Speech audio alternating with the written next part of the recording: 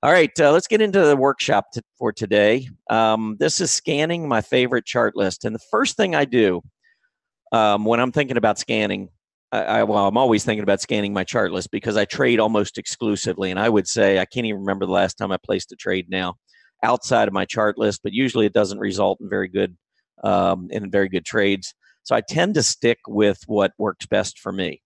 Uh, being a CPA, uh, I really believe that fundamentals play a big part in this as well. I think that management needs to be trusted.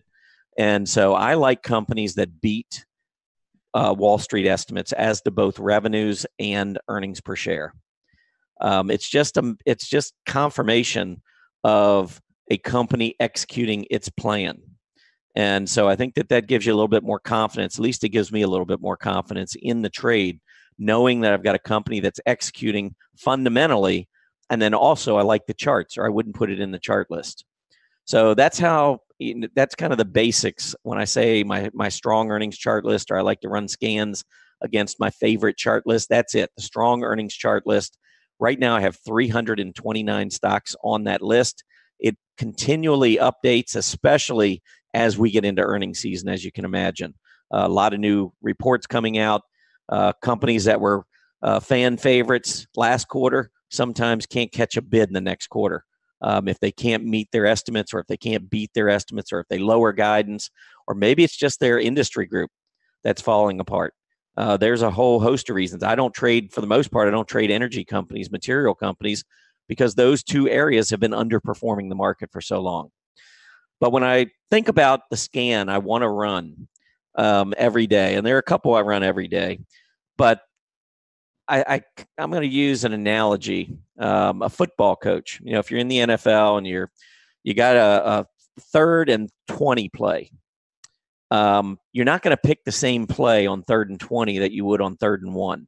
Third and one gives you lots of different options. Third and twenty, if you really want to pick up that first down, you're going to go back and you're going to heave it. You got to throw something down the field. Well, the stock market's kind of similar. I mean, if you've got a market that has been down for six, seven days in a row. Maybe it's in an uptrend overall, but it's been pulling back. Probably is not a whole lot of point in running a 52 week high um, scan against a chart list because if the overall market's been coming down for seven or eight straight days, probably you're not getting too many companies that are making breakouts. Instead, I would be thinking about some kind of a pullback scan that I that I have. So maybe uh, wanting to scan the RSI being back in a certain range 40 to 50, 40 to 45, something like that. Because many times in uptrends, when you do get pullbacks, uh, some of the leading stocks, if you can get them with their RSIs back in that 40 to 45, maybe even up to 50 area, a lot of times that marks bottoms. Um, if you if you've ever studied long-term uptrends, and I know uh, Dave Keller's talked about this, I know Arthur Hill's talked about it. These are trend following um, indicators. They're momentum oscillators. The RSI is a momentum oscillator. But, and then everyone talks about 30 being oversold, 70 being overbought. But when you're in an uptrend, you rarely go back to 30. A lot of times when you get those pullbacks, you only go back to about 40. So the first thing you have to do when you think about scanning is think about the, the type of scan you want to run. Now we're fairly close to all-time highs. I think the 52-week high scan is fine. So I keep uh, a couple of scans uh, that I've saved. And so I could go ahead and pull one up here. Let's go ahead and start with this, SECL 52 week high scan that I've saved. Strong earnings chart list, SECL 52 week highs. So all I have to do is pull that up and I'll edit it just so you can see what it is. But essentially, it is checking to see whether or not the daily high exceeded yesterday's daily max for over the last 253 days. And then my favorites list, which is my strong earnings chart list. I mean, it's got these other volume uh, things in here. I could probably take that out. I don't really need that, but it's not going to hurt because I know that that 40,000 volume is not going to be a problem with the, the stocks that I have in my list. So um, I'm just going to run the scan. And when I run the scan, it's showing me that there were nine stocks of my 329 stocks on the list. Nine of them are setting 52 week highs. So I can sort them now. If they're sort of if they're setting 52 week high, chances are the scooter is going to be pretty strong. And you can see the scooter, the lowest one is 78. The other thing I like to do sometimes is look at the industry and see where is the breakout occurring. Transportation services, semiconductors, love the semiconductors. Home construction, home construction has been in an uptrend for quite some time. So if I'm getting a breakout there, I want to know about it. I want to know which stock it is. I want to know if it's a, you know, a, a breakout that's tradable, or maybe we're just so overbought it's not. You know, maybe it's been making 52 week highs for a while. Life insurance that's come to life a little bit. Uh, no pun intended. Um, of late, with the 10 year Treasury yield moving to the upside, but it's kind of interesting with the yields moving down the last couple of days that this life insurance company is setting a new 52 week high. Maybe it's a topping kind of a candle. It could have doesn't mean that it, we're at 52 week highs right now. It just means that we hit a 52 week high at some point during the day. So it could be a reversal. Um, Meritage Homes, home construction again. Lockheed Martin love these defense stocks. Uh, electronic equipment, media agencies, and there's a restaurant and bar with only a 78 scooter. That kind of makes me wonder too. If, if the scooter is only 78, that kind of tells me maybe the stock hasn't been, isn't overbought. Um, is it? I don't know. Let's pull up a chart and see. A lot of sideways consolidation. Big move up. I see a cup. I see a handle. Now we have a false breakout. I would not be jumping in right at this level, 89, 79. But later in the day, if the volume, you see the volume really start to pick up. I don't like that light volume today either. We're already we're getting close to the halfway point of the day and only 124,000 shares on a false breakout. It tells me maybe we're this is not gonna not gonna do it.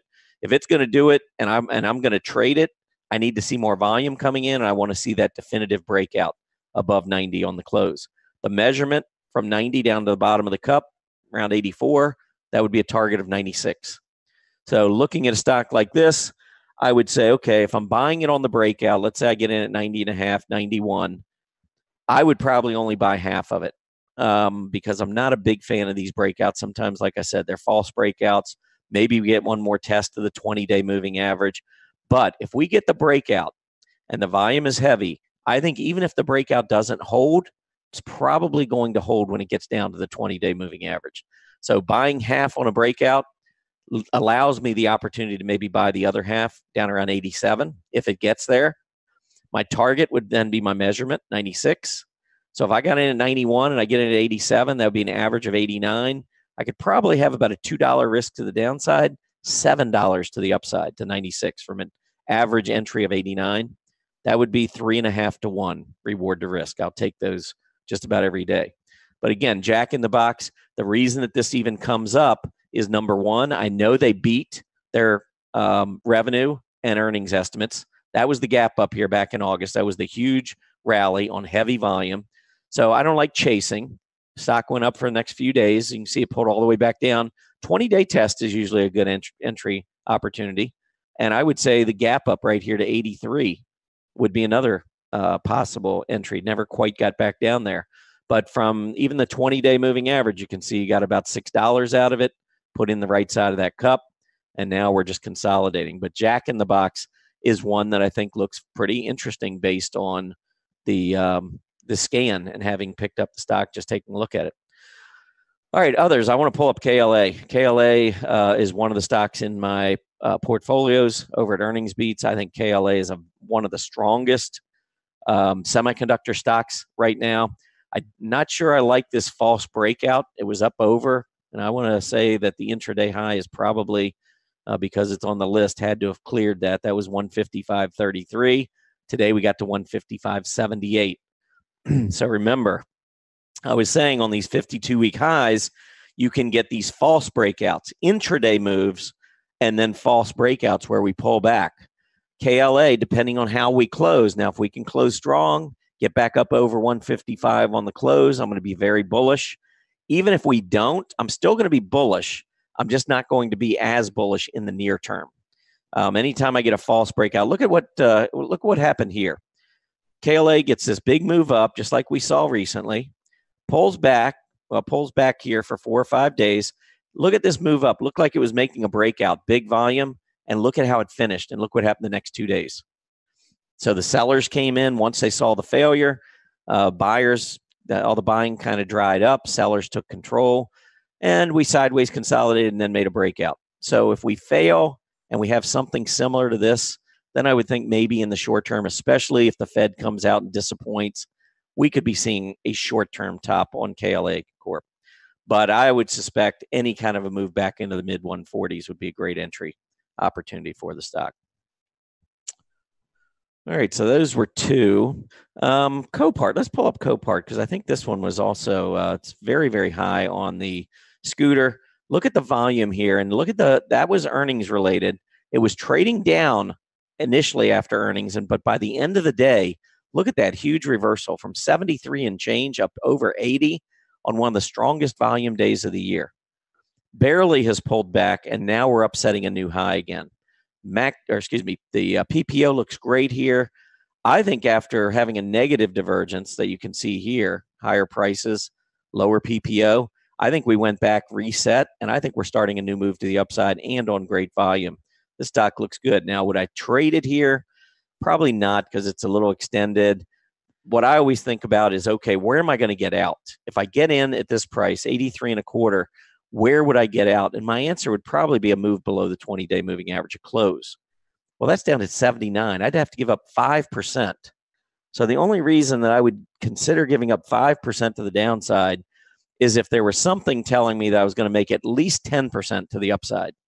And I don't really have anything in play here that's telling me pattern wise that I'm going to be up to 90, you know, 93 dollars um, anytime soon. Might happen. Uh, chart looks good. But again, I would rather wait and see. I've got 329 stocks on my list. I don't have to jump in on every one that comes up on a scan.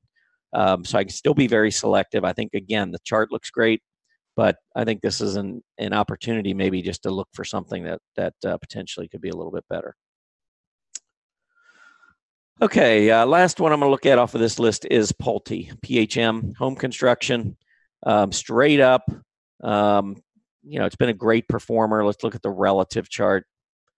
If I pull that up, you can see relative to home construction, it went through a period of some profit taking. It had a big drop back in uh, the third week of July. That was earnings related, but it held its price support. Remember, I was showing you a chart earlier big drop, heavy volume, but it held support and then continued. Now you can see here on Pulte, it continues going higher. So it's the combination of price and volume that gets me. It's not just the fact we're down on big volume. Did we lose major support? And I would say in this case, no, we didn't. We held it and then we rallied back to the upside, set new highs. And I think Pulte continues to look pretty good on the chart. All right, um, let's move on to another scan. So let's go back. And I'm going to pull up Let's take a look. So I, I just did the 52 week high, but the market's really not soaring here. Um, we've pulled back a little bit the last couple of days.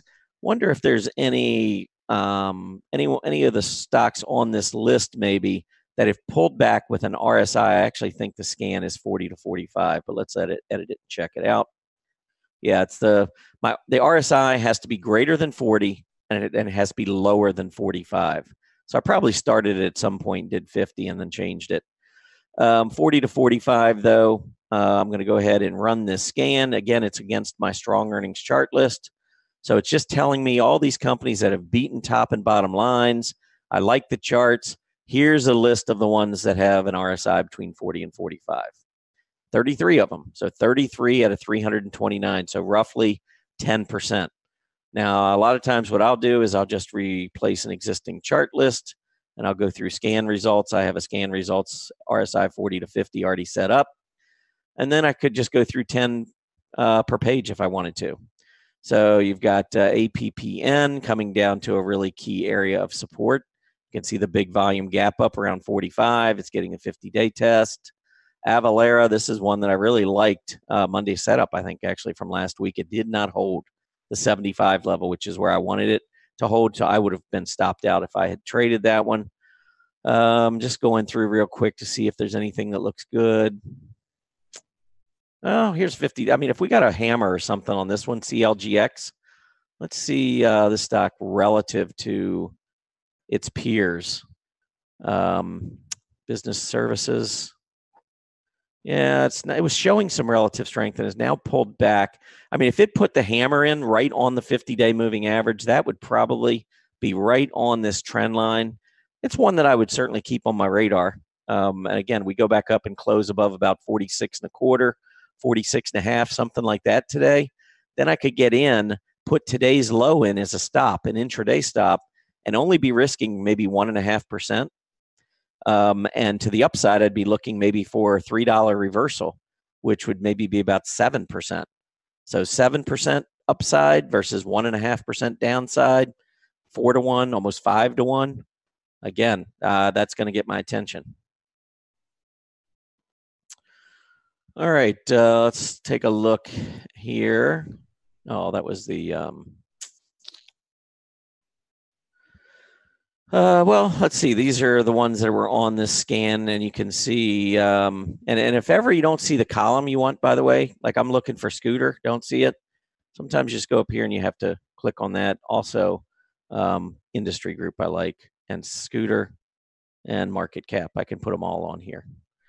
All right, so now I can take a look and look at uh, Enphase Energy up uh, 1.79%. I was just talking about this one, I think, yesterday.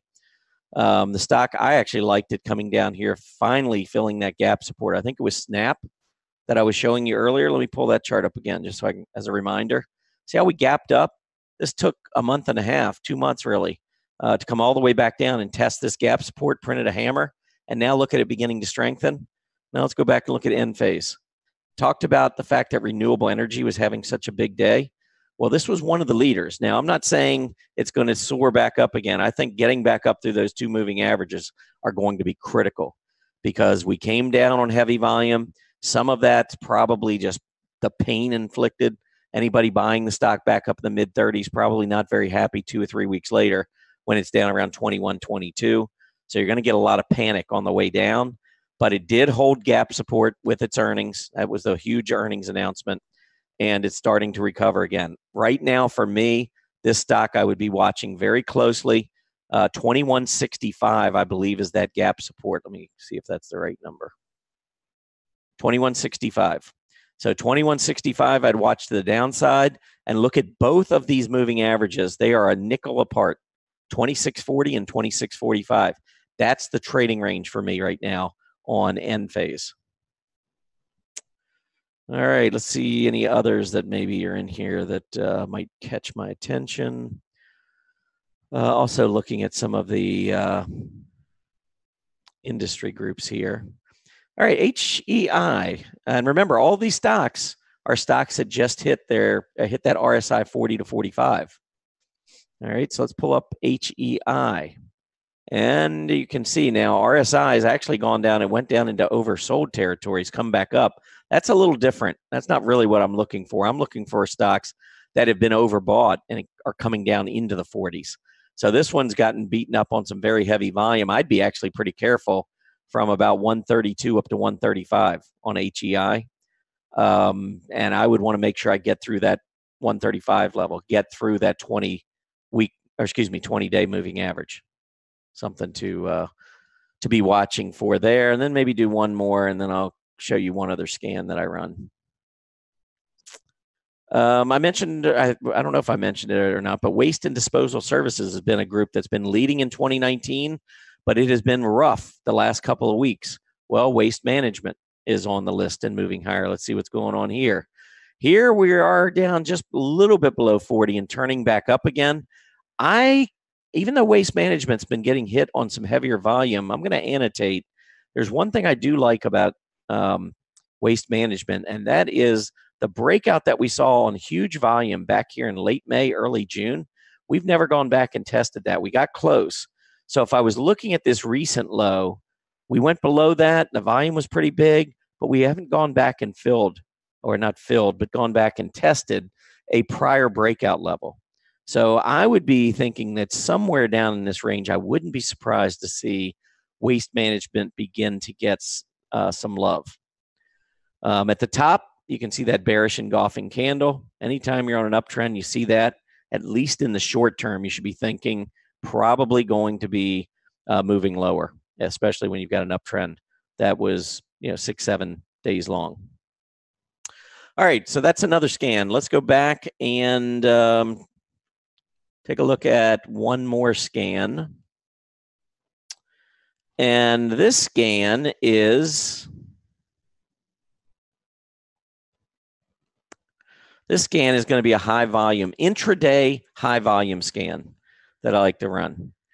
And so let's edit this one. Just take a look at what's going on here. So what I'm doing is I'm looking at the daily volume today for all the stocks in my strong earnings chart list. Again, that's a global filter down here.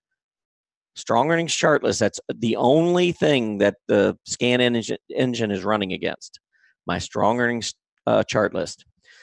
So the daily volume for today is greater than the 90 day simple moving average of volume times 0.4. So let's say that a stock normally over the last 90 days has averaged doing a million shares a day. Well, I usually run this one at 10 a.m. So at 10 a.m., if I've got a stock that's already done 40% of that or 400,000 shares, that is on a pace to go way beyond the million for the day. And so early in the trading day, maybe there's no news. Maybe it's just a stock that's doing something technically that I want to be aware of. Well, one way to find out is to see unusual volume. And it could be the either way, it could be the upside or could be the downside. So let's take a look at this now. It's 0.4. We're halfway through the day. If I run this, well, let's just run it so you can see. But I'm going to get about, you know, probably 150 stocks on this list. 109. All right, that's too many. That's not really what I'm trying to do here. So let's go back over here and let's change this. And what if a stock is already done 1.2? I mean, here we are at the halfway point of the day. Let's say it's already gone, it's 120% of normal volume already today. So we're going to update our criteria. We're going to run the scan, and there's four of them on the list. Now I could go back and change it, maybe go to one times. Maybe I'd get eight or nine of them. We already looked at. Uh, actually, we didn't look at DR Horton. I actually put that in a um, daily market report for earnings beats members, and I'll show that to you in just a minute too. Um, if you like the scans and you like these results that I'm coming up with, I want to show you something. Okay, so DH Horton or excuse me, DR Horton, DHI, coming down. This has been a key area of support on the stock, right around the 20 day moving average, also right around this price support area, 48 and a half to 49. Today's low was 49.04. I think that's in a great group. If we pull up the uh, relative chart, you will see that the stock overall has the group's been trending higher versus the S&P. The stock's been trending higher versus both the S&P and versus the home construction group's been consolidating here in September. But a lot of times that's just an opportunity. The group's been moving up, but after the huge advance DR Horton had, you can see the outperformance. It outperformed its home construction peers. It simply went sideways here for a little while. And while it was consolidating, it was losing relative strength. Well, stock can't go up all the time. It's going to, you know, pull back from time to time. But I think DR Horton could be poised for another big push to the upside as it has been one of the stronger home construction stocks of the past few months. Um, now, let me, I want to show you where you can go for the next couple of days because I am posting um, the daily market report that I'm doing. If you go into the About Us, right now it's just in this section. I uh, just wanted to post a daily market report sample. So here is the sample of what I uh, sent out to earnings beats members today. And if you ever, if you followed my Trading Places blog um, and you saw all of the uh, market analysis that I did and a lot of the individual charts that I would post in there, the Monday setups, uh, all of those different things, you want to um, just keep in mind that over at uh, earnings beats that's what i'm posting really on steroids um, if as you go through this here's the market overview talking about what's been going on with crude oil um, the 10 year treasury yield moving up. I do a sector industry focus here. This was home construction I talked about today. And I mentioned Meritage, which was one of the um, home construction stocks that I like. And you can see the, the relative strength there and the way the stock's been trading. Um, strong earnings chart list. This is what I was showing. Scan the scans I'm showing you right now. I put in the the uh, daily market report every day. So here was high volume stocks. I actually sent this out. You can see I ran the scan at 1020.